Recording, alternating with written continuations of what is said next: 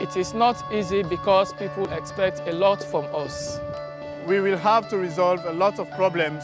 It demands sacrifice.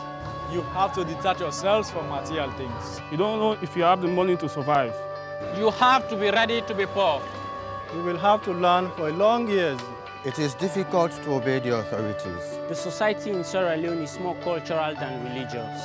They will think you are mad because you have no wife. Sometimes I will feel lonely. They will expect holiness from you.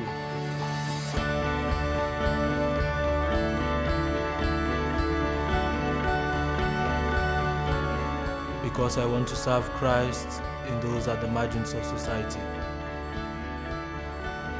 I want to be charitable to the poor. I want to help to bring people to Christ. I want to serve God's people. I believe it is a call from God. I want to live an exemplary life like Christ. I want to become a spiritual leader. I want to be with the poor, the unloved, and the needy. I want to be a humble servant of God and people. Life is an important game and I want to play the right side of it. I want to win souls for God.